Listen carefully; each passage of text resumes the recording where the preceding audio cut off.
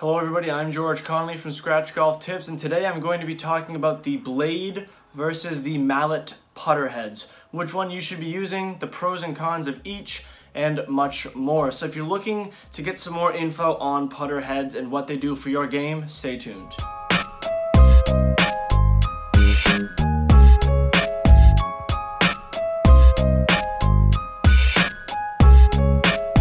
Before I get into the details of each putter head, let me just show you the putter head of each. The blade, obviously generally a much smaller putter head. Uh, this, I've got the Odyssey Dual Force 664, just, just as an example here.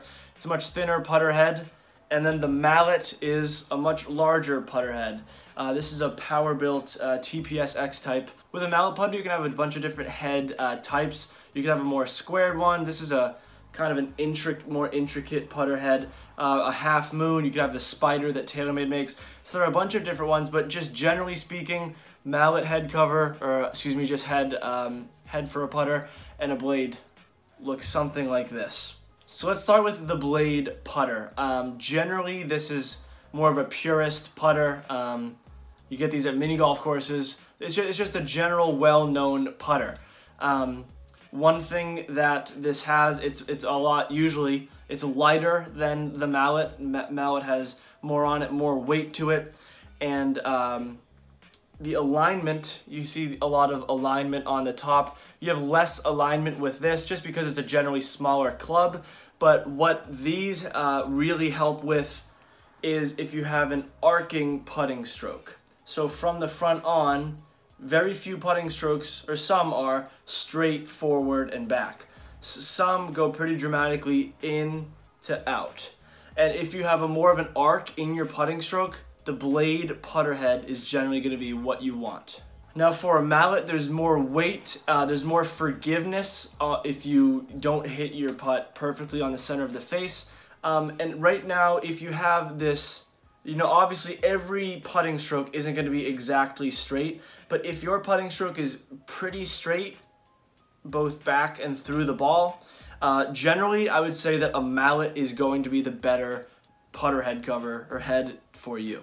A mallet can be very good for the beginning golfer for a couple of reasons. One, um, a big issue for beginning golfers is always your alignment. The way that your body is aligned to the putter, the way that your putter is aligned to the ball. Um, most mallet uh, will most mallets will have a lot of alignment tools just because there's so much room for lines to go back. So this putter right here, it has the top alignment which can align your which you can align your body to, and then this one which you can align to the ball, to the hole, or whatever your target may be.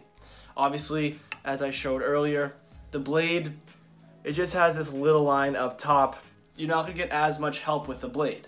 However, if you're more advanced putting, you hit good solid putts every time, you may get better results from this putter because although it isn't as forgiving, a lot of people say that if you pure a putt with the blade, it's you're just going to get a better result, a more true putt than the odds of you hitting a pure putt with the mallet head. As for players on tour, you know, if you look probably 20 years ago, mallets were hardly a thing. Almost every player was using a blade of some sort, but we have seen a lot of players switch over to the mallet putter head. Most notably, I know Rory McIlroy uses um, the Spider. I believe Jason Day, who's one of the most, uh, one of the best putters on tour, he uses one. Also, Adam Scott, who has been all over the place putting, uh, he uses these. But something about two players on that list, Rory and Adam Scott, both incredible ball strikers, some of the best in the game, but they both really struggle putting. If both of them were excellent putters, they would be they would win many more tournaments.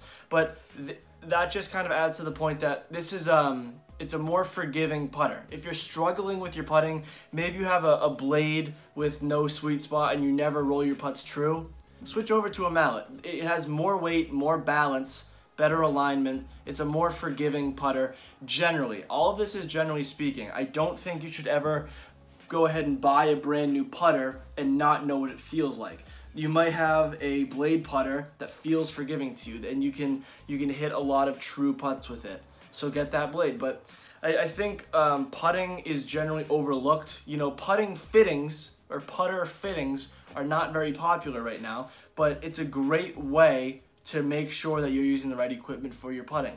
There's a lot that goes into a putter. It's not just your head and maybe some people think about the grip on the putter. You have the, the offset here.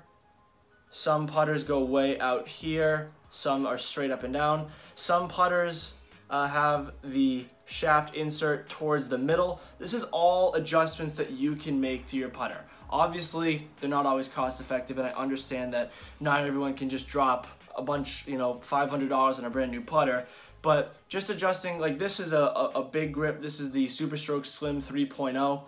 Um, I have this on this blade putter just because it allows for uh, better control for me throughout this putter because um, this is a very small sweet spot, this Odyssey Dual Force.